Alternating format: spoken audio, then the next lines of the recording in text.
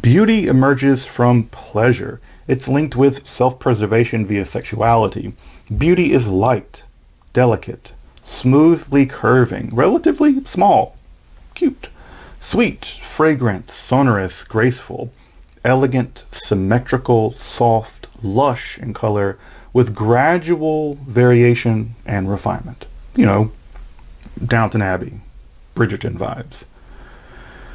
Not, not so the sublime. Unlike beauty born from pleasure, the sensation of the sublime was born from the tensing of our nerves within our bodies, our eyes clenched, our imaginations crushed under some horrible immensity. The sublime was born from pain.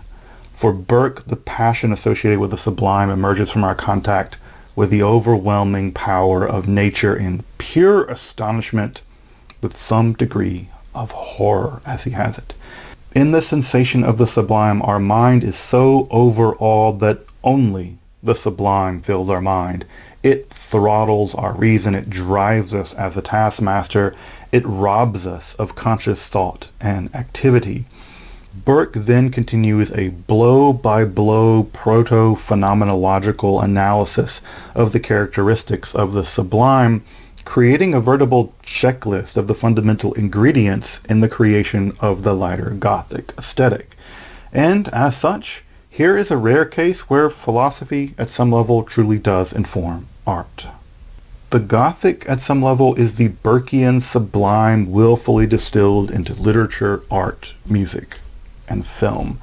And thus the sublime is founded upon natural terror, uncontrolled fear born from the tremendous power which inspires just that passion. The vastness of a mountain, the blackness of a night, the titanic swelling of a sea in tumult, a storm relentlessly bearing down with hail and rain and lightning. And yet this horrible magnitude is also met with terrible obscurity. The sublime is just beyond our full ability to grasp it. It hides in the dark and in the shadows and the gloomy pomp of the Miltonian hell, the inner darkness of forgotten temples or caverns deep within the earth. Thus the sublime has its mirth in darkness, gloom, confusion, mania, and obscurity. Despite that obscurity, the sublime is terrible in its power and threatens to annihilate not only us and our consciousness, but, but life itself. It's the horrible power of unpredictable vengeance from the gods, the tremendous violence of the divine, as Job is chastised toward the end of that book. Power with nothing of reason, nothing of care, no mercy, and no restraint and yet the sublime can also be sensed in the vastness of privation, of emptiness, of vacuity, and of silence, solitary, vast nothingness.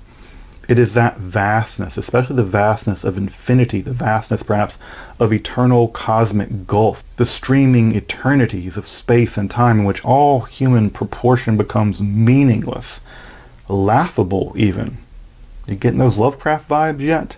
Barring such infinities, vast structures, including human structures, can also inspire the sublime.